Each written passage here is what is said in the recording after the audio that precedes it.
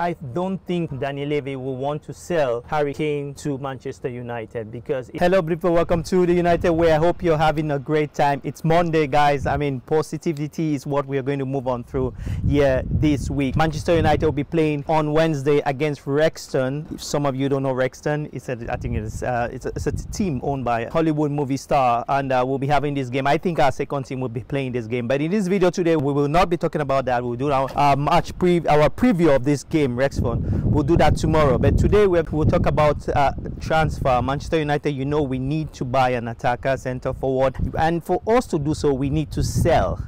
So guys, before we kick off, please make sure you click the like on the video, subscribe to the United Way. We want to hit this summer 10k. If we can do that, you can help us reach 10,000 subscribers. That would be fantastic. Share with all communities because we want to bring in journalists into our platform so which can answer your question. But yeah, you know, Manchester United, we need to buy some players. We need to bring in one more midfielder. We need to also bring in an attacker, an elite attacker, or some would say an attacker for the long term. But um, yeah, I'll ask a question on this video between Harry Kane and Rasmus Hojlund, who do you prefer between Harry Kane and Rasmus Hojlund? And explain to me why and why you prefer you took a choice, right? Because it's important as a United fan for us to understand what the fans also think about. It's not about me.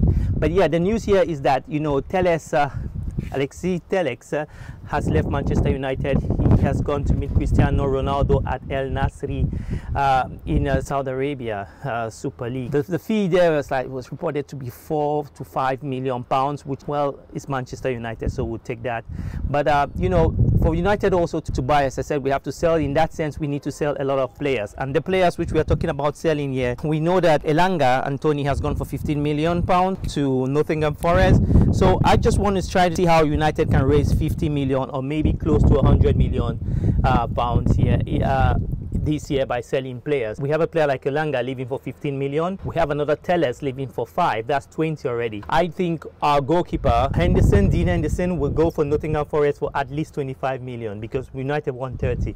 So 30, 25 million. That would be already 45. If Fred was a City player, he would go for nothing less than 20, 25 million. He has a one more year contract. But I think Fred will go for 15 million because he's Manchester United. Manchester United, we are the charity club in the Premier League where we sell uh, cheaper than what we buy, even if we have a talent, right?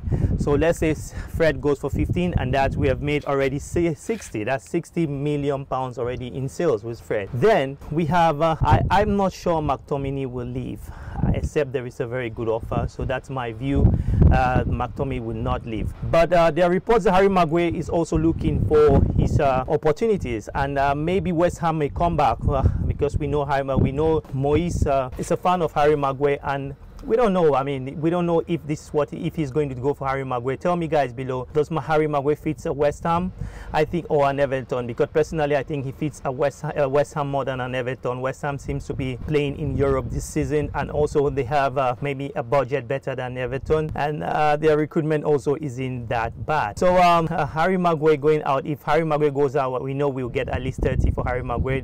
I mean, he's, he's the, the, the ex-captain of, of Manchester United, uh, and also an international, um, an, an, elite and international for the English national team. So Harry Maguire deserves that respect. So tell me below what you think about Harry Maguire. How much will you sell Harry Maguire? Don't tell me from a bag of chips because I think Harry Maguire actually is a good player, but he doesn't. The issue here, never forget, no matter what you think about Harry Maguire, the, the reason why Harry Maguire is leaving Manchester United is not because he's a bad player. That is not the point. The reason why Harry Maguire is leaving Manchester United because he doesn't suit the system in which Ten Hag wants to play, which we need, and we need quick defenders. Some of you think uh, the signing of players are done uh, are done because of the love of an individual collection or the love of the manager or the player going to the, the, the team. Ten Hag wants to play a particular way, so he's looking for players that can fit the pattern of play of Manchester United next season. Don't think Ten Hag is a, a, massive friend or of uh, Andre Onana. He knows Andre Onana will bring value to Manchester United, and that's why he has told uh, the United hierarchy, by the way, to buy Andre Onana. So I think uh, if we sell, um, and that's why I Andre Onana is in Manchester United. Sorry for the noise here. I'm on, on my penthouse here. Yeah, they have gone. But yeah, so that's where we are. And um, I want to say this. We have done Fred, Elanga. We have done Harry Maguire for 30. That will sum it up to maybe, I think uh, it was 50, it was 60, right? Yeah, 30, that's 90 already, right? then uh, I think we're missing one more player. Yeah, we have Dean Henderson. Uh, yeah, so that's roughly 90. So that's roughly 90, which is um, a sum of money that can bring in two players in, in Manchester United. We can bring Amrabat and we can bring also Rasmus Hojlund. See, if United is buying Rasmus Hojlund, it will be 50. It won't be more than 50 plus add-ons. Or because it's a risk. In life, there's risk of everything. Some of you will say this, but this is a massive risk because we're buying a player due to his, his reputation just for one season, and he he wasn't like a stable player. I think they're taking a total advantage of us. But one of the reasons why I think United needs to take this very seriously is simple. Let me fix the camera, guys. It seems well, one of the reasons why United need to take this is because we now know that PSG, Paris Saint-Germain of, France, are interested in Rasmus Hojlund. You know, two decades ago, the wealthy guys in football, that's Real Madrid, right? They started the Galacticos, and um, the Qataris took uh, PSG and started buying players, building a reputation, and you know, overinflating the market. And now it seems as if this is not a PSG uh, uh, channel, but it seems as if um, Kylian Mbappe, uh, PSG wants to sell Kylian Mbappe because there are some reports there uh, that uh, that that uh, a, a, team in Saudi Arabia is ready to give up a billion dollar salary a season to come and play uh, in Saudi Arabia in, in Saudi Arabia and uh, PSG want to catch in on him because he is not even in the preseason.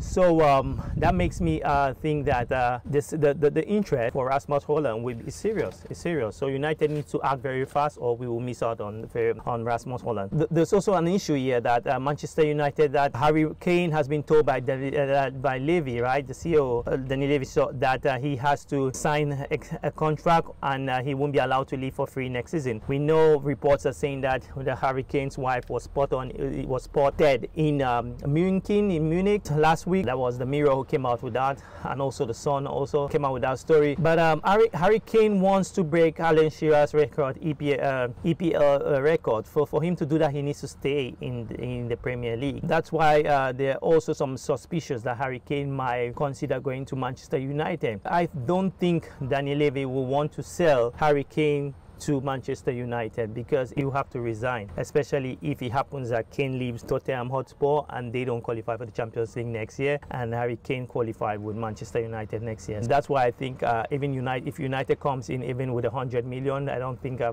Tottenham will want to sell Kane to us. But we've had also some developments here about how uh, Ten Hag made the decisions. That was for this is from the Athletic.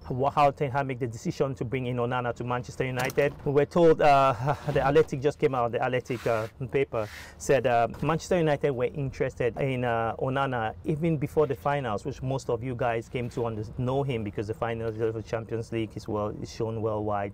The audience is massive, but uh, Ten Hag always has been interested in bringing this player. But on the other hand, Ten Hag really appreciated David De Gea and that the error that De, De, De Gea did in that finals of that cup, it just pulled the plug on Ten Hag and said, you know what, if we have a chance to bring in another goalkeeper, then we better do so. As the market kicked off, well, when we understood that it would be very difficult for us to bring in Harry Kane, then Ten Hag said we should go for Andre Onana because he Ten Hag, if, for those of you who have appreciated Ten Hag's job in Manchester United, you know that one of the best things he has done, he has built us a very good defense. And he believes that if we can have a good defense and uh, we can have a good season. Maybe we won't win a league, but we can have a good season. And I think his strategy is working. So there we go. Guys, this is our merch. We haven't posted it yet, but guys, all I can tell you guys that we also have football caps here from the, the United Way. Get involved with the United Way because we're doing a giveaway after this pre-season where we will choose one of the most interactive uh, uh, fans on the channel and um, um, one of these caps to you guys. So uh, with that all said, guys, please make sure you smash a like on the video and get involved with the United Way, as I said uh, earlier on. But I have this question for you guys. Who will you go for, Harry Kane or Rasmus Hojlund? Tell me below. Don't just call names, but just tell me as a fan, someone who's enthusiastic, someone who understands Manchester United, why will you choose any of these attacker? With that all said, talk to you soon, guys.